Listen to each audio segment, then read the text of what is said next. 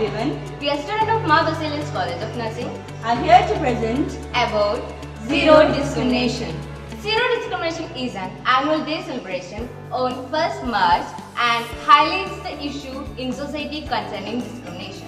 It was established 10 years ago by UNAIDS to protect the right of everyone and to build a healthier society. Do you know what all are the discrimination that is facing in nowadays? I don't know, but I guess how about asking others about this topic? Yeah, sure. So let's move.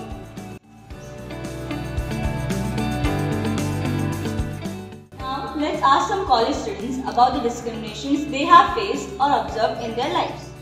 religion, caste, occupational income, health status and disability. Zero Discrimination Day, we are Promoting equality before the law, creating awareness that public health is human right, encourage global solidarity and action.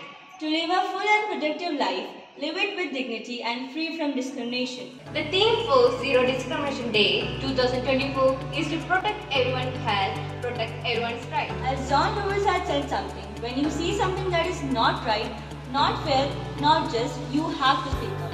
You have to say something, you have to do something. Lastly, we want to say it is the moment of change. Thank you.